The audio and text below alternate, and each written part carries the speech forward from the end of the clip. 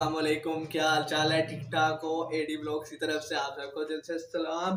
तो यार आज आप सोच रहे होंगे कि मैं किसी जगह पे जाके रिव्यू दे रहा हूँ नहीं भाईजान मैं किसी जगह जा नहीं जा रहा। मैं आपके साथ एक बहुत सीरियस टॉपिक पे बात करनी है ठीक है? ए, और वो टॉपिक आपको शायद पता हो या कईयों को नहीं पता होगा लेकिन उनके बताना ज़रूरी है ठीक है? आपने कभी सोचा है कि रमज़ान से पहले चीज़ें क्यों महँगी कर दी जाती हैं?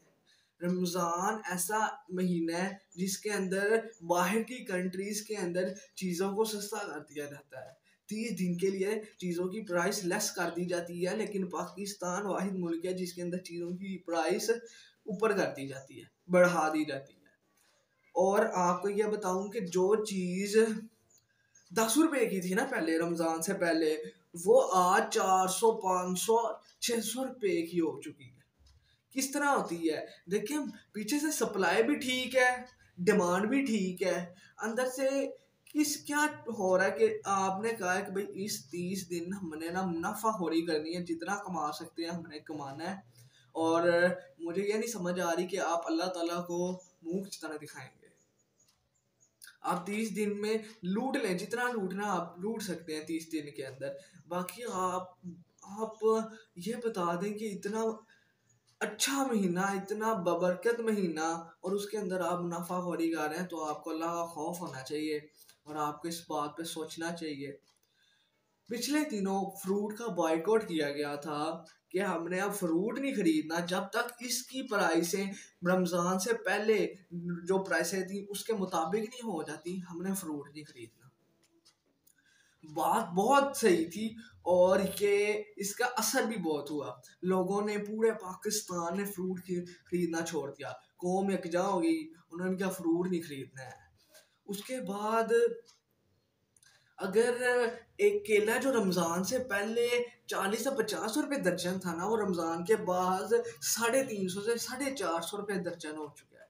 जो सेब रमज़ान से पहले तीन सौ रुपये किलो होता था ना, वो रमज़ान के बाद आपकी सोच है कि वो आठ सौ, साढ़े आठ सौ रुपये का किलो मिल रहा है सेब। तो आप सोचिए, बाकी बंदा जो खरबूजा आप मुझे आज भी याद है कि पिछले साल खरबूजा था बीस से तीस रुपये मतलब किलो, ठीक है? बीस से तीस रुपए किलो ही होता था। लेकिन अब खरबूजा दो सौ बीस रुपये से लेके आपको पाँच सौ अस्सी तक किलो मिल रहा है। और आपको पता किलो में कितना आता है? और एक तरबूज, अब तरबूज आया, तरबूज का जो रेट है ना, वो आप सोचे ही ना कि तरबूज जो आया, वो मतलब किलो जो है ना पाँच सौ अस्सी रुपये मतलब तरबूज तो काफ़ी किलो का आता है, तीन चार किलो का आता है। पाँच सौ अस्सी में मतलब कि दो हज़ार का आपको सिर्फ़ और सिर्फ़ तरबूज।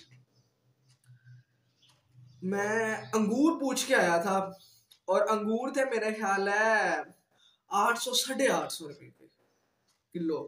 ठीक है? तो यार इस ये चीज़ें क्यों की जाती हैं? अगर रमज़ान से पहले अगर ये चीज़ें सस्ती थी तो रमज़ान के बाद क्यों महँगी कर दी जाती हैं? मुझे पाकिस्तान की कौम को सलाम है कि जिन्होंने ये बॉयकॉट किया और उसके बाद आज मैं रेट पूछ के आया हूँ तो आज बहुत रेट गिरा आज।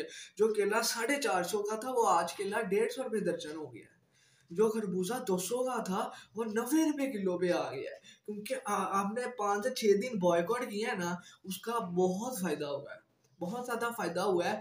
तो आप अगर इसी तरह किसी भी चीज़ का रेट बढ़े किसी भी चीज़ का रेट बढ़े। आप बाइकआउट कर दे, कोई बात नहीं, अगर हम चाट नहीं खाएँगे, चार पाँच दिन अगर चाट हमारे घर नहीं बनेगी तो उससे कोई फ़र्क नहीं पड़ेगा। उसके बाद जो बनेगी, उसका ज़्यादा मज़ा आएगा। इसलिए बॉयकॉट करना एक चीज़ का बहुत ज़रूरी होता है, ताकि हम उस चीज़ को उसकी असल कीमत में लेके आ सकें। जो कि मुनाफा खोरी लोग करते हैं ना, कि दस की चीज़ पकड़ी रमज़ान के अंदर, उसको साढ़े पाँच सौ पे ले गए इसको हमने रोकना है। और इन रोकने में हम कामयाब भी हो चुके हैं। आज मंडी के रेट बहुत गिर चुके थे, ठीक है, और उसके बाद आज से फ्रूट भी सस्ता हो गया है, ठीक है, और इसका क्रेडिट पूरी, पूरा आवाम को जाता है कि आवाम ने इसके ऊपर तोज्जा दी है बॉयकॉट इस बार रमज़ान हमने किया तो ये चीज़ों के रेट अपनी जगहों पे पहुँचे हैं, वरना कभी इस रम, पहले रम, पिछले रमज़ानों में देख लें, कभी हमने बॉयकॉट नहीं किया किसी चीज़ का। और इन जो जो चीज़ बढ़ेगी, उसका बॉयकॉट किया जाएगा, ठीक है?